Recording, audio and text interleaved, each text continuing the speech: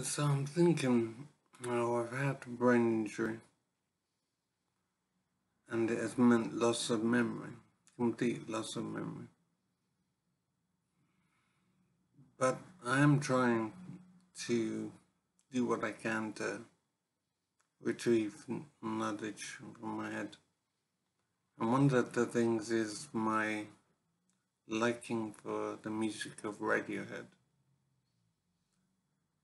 And something occurs to me now that um, their music is phenomenal, and I really don't understand how they can create such fantastic lyrics, beautiful music. And I'm finding the lyrics are inexplicable and it simply don't make sense. Yet they're still so attractive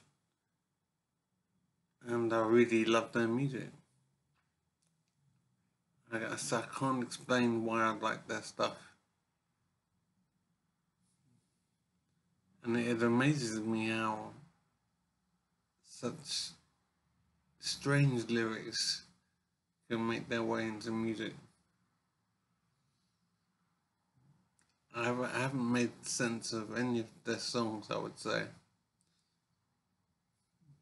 But for some reason, it's so appealing. I really appreciate their work. I just don't understand why.